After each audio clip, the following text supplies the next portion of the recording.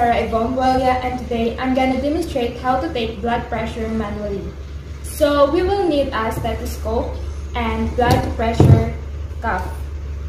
So let's start.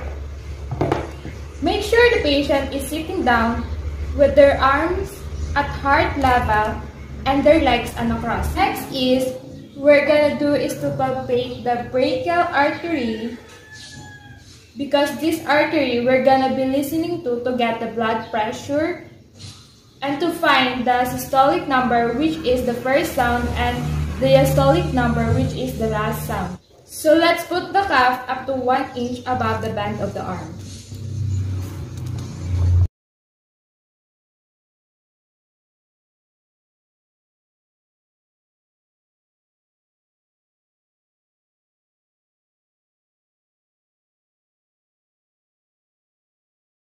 Brachial artery is here and Put the diaphragm on it.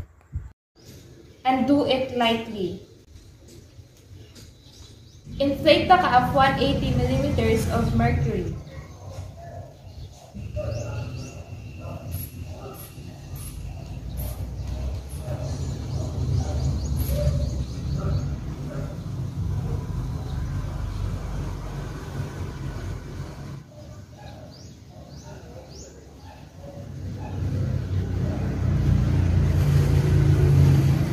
So the blood pressure is 120 over 75, so it's normal.